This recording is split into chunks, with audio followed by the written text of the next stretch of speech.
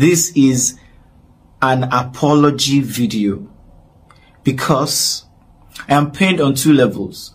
First, the goal of granting the interview was not achieved. Alright?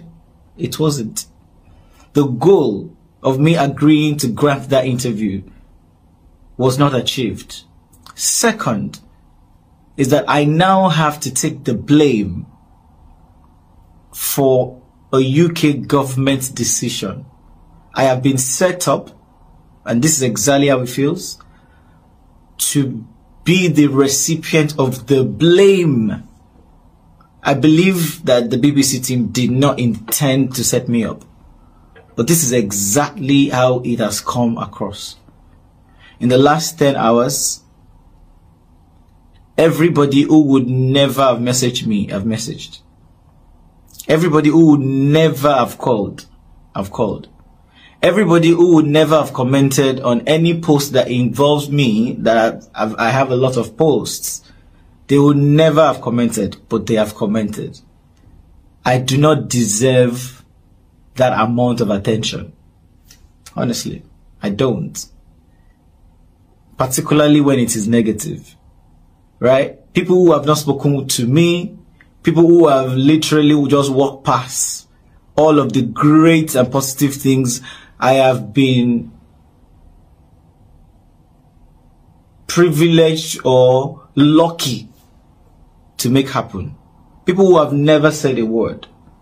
Now they have a thesis. I am sorry, I am sorry, I am sorry, I am sorry, I am sorry, I am very, very, very sorry.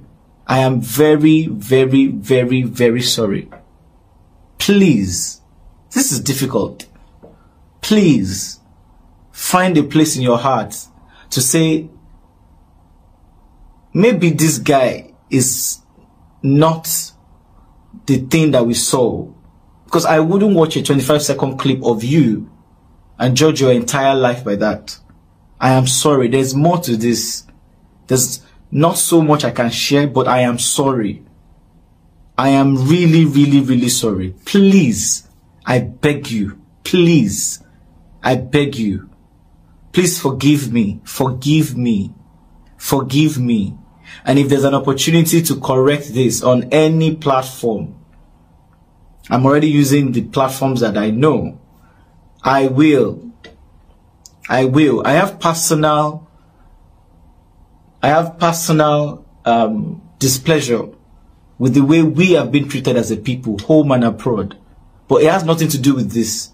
It has nothing to do with this at all.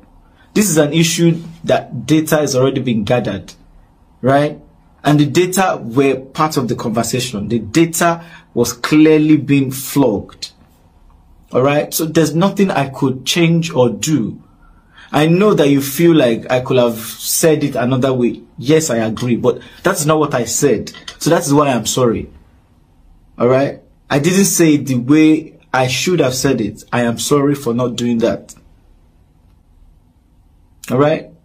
But I wish that everything that was said in the interview, if it was a live interview, I know you will not judge me like this. Because you will have a chance to watch it from start to finish and it wouldn't be cut. And you know, an interview, if you watch it on local news, is longer than 25 seconds of Emdee things or Emdee is sure, Emdee said. Please, please, please, please, please, please, please, please, please, for the people who want to kill me, let me say this on camera. Please, you don't benefit anything from killing me. Because I am not the enemy. I am not. And if you think I am the enemy, I am sorry. I am not the enemy. And I didn't mean anything bad. I did not. Please stop the hate. Uh, and now I am, I'm, I, I am lost for words. I am very, very lost for words. It is sad, to be honest.